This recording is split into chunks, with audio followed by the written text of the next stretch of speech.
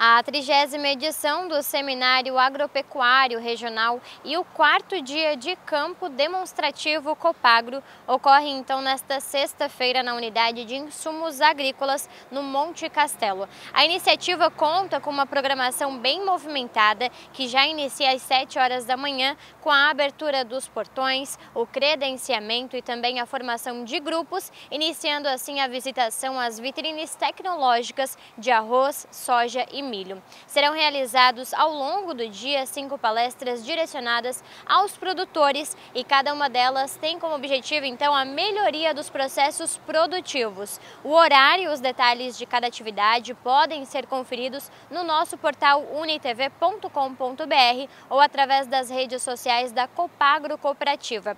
Olha, por enquanto essas são as informações sobre o evento. Nós voltamos com você aí do estúdio trazendo outras notícias aqui da nossa região.